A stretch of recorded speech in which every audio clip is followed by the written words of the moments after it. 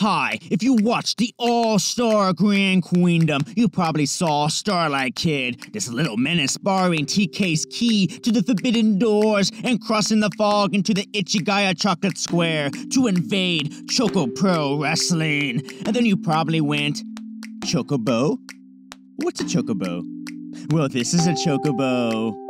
Oh, you meant Choco Pro. Sorry, I didn't realize you were dumb. It's a type of chocolate, you know, like a like a pro online chocolate shop where you order specialty chocolates and they deliver it in a nice box and a fragrance and stuff. Yeah, yes, that's exactly right. But you have to play Janken first in order to even order. But this chocolate is the best chocolate, the most tastiest chocolate in the world. Just ask Chie.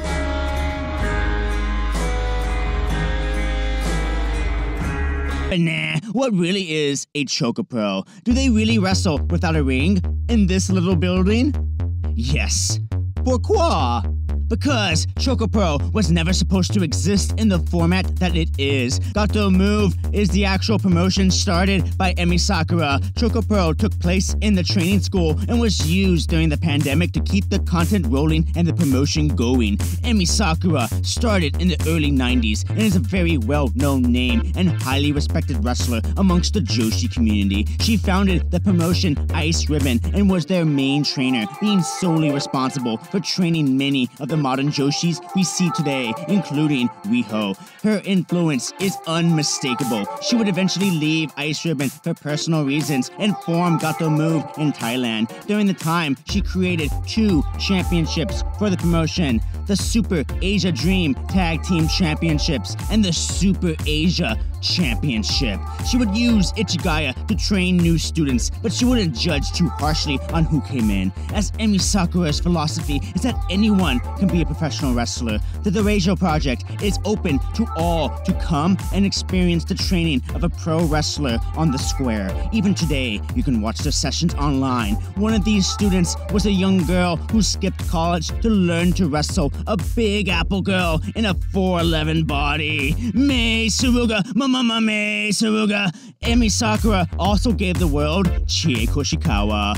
Cause Saint Emi doing Lord Raku's work. Emi was also recognized by AEW for her work and wrestled several shows, joining the promotion's darkest shows, but spreading her name nonetheless. She is the queen after all, Queen Emi, deserving of being royalty. With the hardcore Western fan base learning her name, soon she will be given the flowers she deserves so much. But the COVID pandemic shut Japan down, and the wrestlers at Ichigaya needed a place to work. All was uncertain. What could they do? Akki would go on to say how they thought the world might be ending, and indeed, one could understand how these opening two weeks of complete uncertainty was certainly frightening. But Emi Sakura focused not on the anxieties the end of the world could bring, but rather, how do I work with what we got? She realized she had a venue, she had a camera, she had the YouTube channel already, she has a school of wrestlers, and a dude named Akki who can film it, wrestle in it, who speaks English too, so he can commentate and address a Western audience that companies like Stardom don't even bother doing. Legit reaction from my best friend. He like, why does this show have English commentary but not Stardom? Well, Emi Sakura decided, why not film a wrestling show here? That's what they used to do. Big shows in the ring, smaller shows on the square. Why not bring the big show onto the square?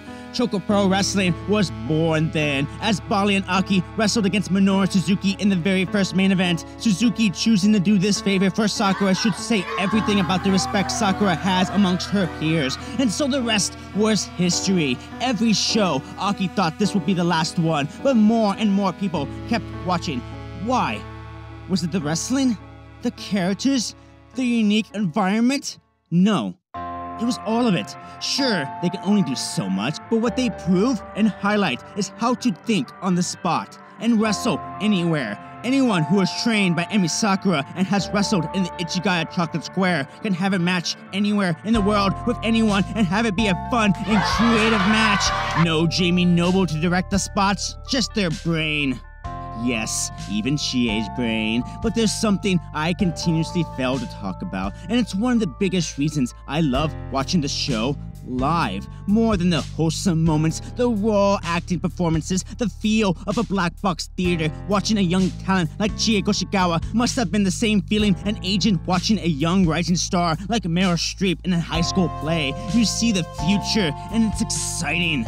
It's more than intimate setting, the intimate emotions of Akki losing his title, or the moments when Chie tries to win Janken. It's the community, like the live audience who buys into every bit. Look at this woman cheering for her Gane. She's my new favorite fan. It's so wholesome. Oh my god. But for everyone not in Japan, it's the live chat. Watch ChocoPro with chat and just let yourself go. Have fun. The community is what kept ChocoPro alive for more than 300 episodes. Sponsoring with bouquets and month long support, I've come to recognize and really enjoy seeing the familiar names pop up. The chat is average 300 strong, and it's always, always popping. Whether the best bros are lost in LA or an actual ChocoPro show, they are there watching, reacting live, coming up with emojis for each wrestler and supporting them directly. It's as wholesome as it gets. There are no fighting, no weirdos, no trolls, just pure fandom. So don't just give ChocoPro a chance. Try watching when they are live and join the chat. And maybe I'll see you in there too. So see it, believe it, because we are. So shout out to Window Jeff, the dude who sometimes steals your spot too. Dogu, The Up Channel, Tommy Phoenix Rising, Boost B, OG 2001, Dan Work, Bibbidi, and many, many more that I'm glossing over because I still have to shout out my patrons and I didn't write down all the names.